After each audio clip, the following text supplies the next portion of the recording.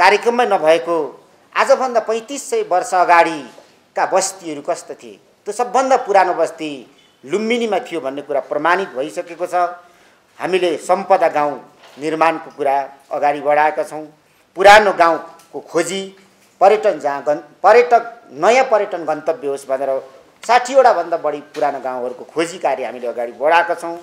सांस्कृतिक गाउँ निर्माण सम् सम्पदा नयाँ सम्पदा निर्माणको कार्यलाई पनि अगाडि बढाउने भनेर हामीले कार्यविधिको ड्राफ्ट नै हामीले गरिसकेका छौँ। पर्यटन दशकलाई अझ तीव्र बनाउनको निम्ति यसलाई कार्यान्वयन गर्नको निम्ति कार्यक्रम हामी तयारी गर्दैछौँ र त्यस पछाडि चाहिँ हामी उच्च स्तरीय हाम्रो काममा हामी लाग्नेछौँ। नीतिको कुराहरू छँदैछ पर्यटन ऐन हामीले संस्कृत संस्कृति ऐन लगायतका थुप्रै नीति पनि हामीले निर्माण गर्नु छ।